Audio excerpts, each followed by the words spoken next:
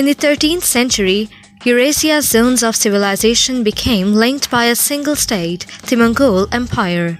The Mongols originated in Central Asia. They were a pastoral nomadic people moving across the steppes of Central Asia with their herds of horses. As nomads, they had certain tactical advantages. In particular, they could carry out head and run attacks against targets of opportunity before fading back into the steppes to avoid retribution. In this, pastoral nomads like the Mongols held a tactical advantage over settled populations that they enjoyed until the development of rapid fire rifles in the 19th century.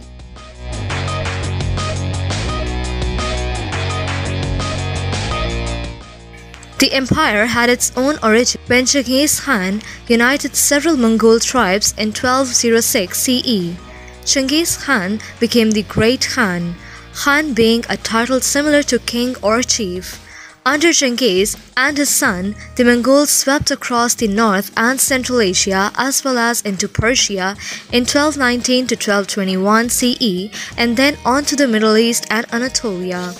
They occupied China in a series of campaigns through the 13th century, ending in 1279. Europe was also not untouched. The Mongols controlled what is now European Russia between 1237 and 1480. They also launched attacks on Poland, Hungary, and Bohemia in the modern day Czech Republic in 1241. Only the death of the great Khan Genghis Khan Genghis' son in December 1241 and a preference for richer pickings in China saved Europe from a full invasion.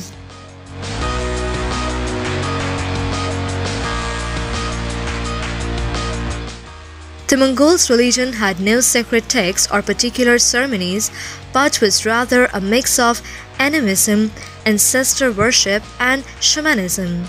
Instances of the elements of fire, earth, and water impressive geographical sites like mountains and natural phenomena such as tombs were considered to possess spirits.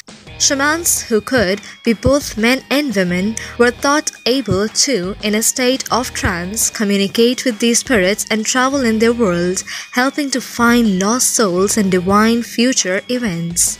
Above all, Though there was a widespread belief in the principal two deities, the earth or mother goddess known as Ichugin, who represented fertility, and Gog Tengri, the blue sky or eternal heaven.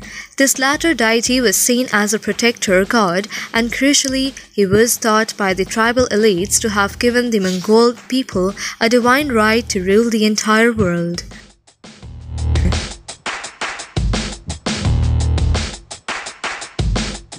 The Mongol Empire was the largest contiguous land empire that ever existed. The Mongols' success at subduing and controlling people of so many different religions, languages, and regions meant that running the empire was always extraordinarily challenging.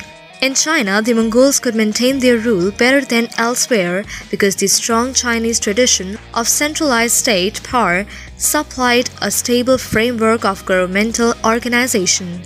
But ultimately, the empire began to fragment as the central government in China weakened.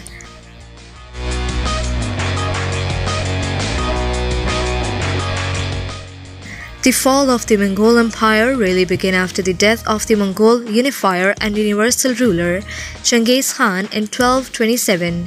After a little over a century after his death, the Mongol Empire was a fraction of what it was at its territorial height.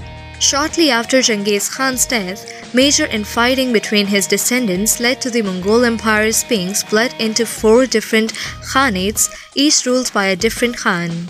The Mongol Empire went from being a somewhat anarchic land unified by the fear invoked by Genghis Khan himself to a divided land, each far smaller than the original territory.